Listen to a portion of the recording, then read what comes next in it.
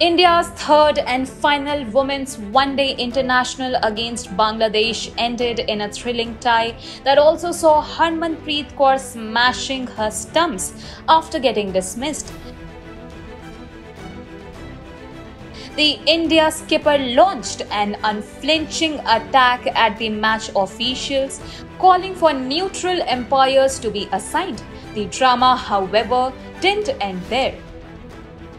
As per reports, Harmanpreet even invited the umpires for a post-match photograph, insulting the Bangladesh skipper Nigar Sultana, who refused to stay for the photo ops in the process.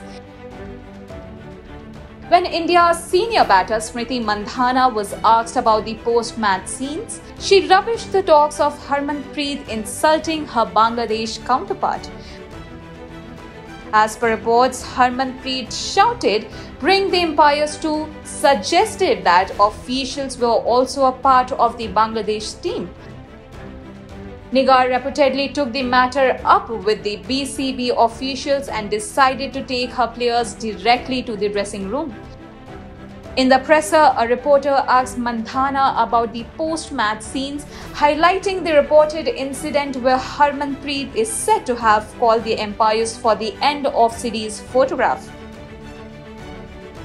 In the press conference, Mandhana defended her captain, saying though a few words were said about the umpire, nothing was uttered against the Bangladesh captain or the team.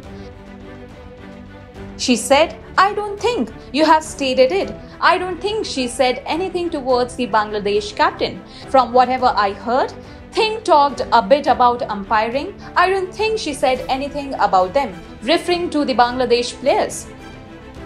On being pressed about the rumored post match scenes, Mandhana said she can't say much about things that didn't happen on camera or after the presentation ceremony. She asserted, We should not talk about things which did not happen during the match.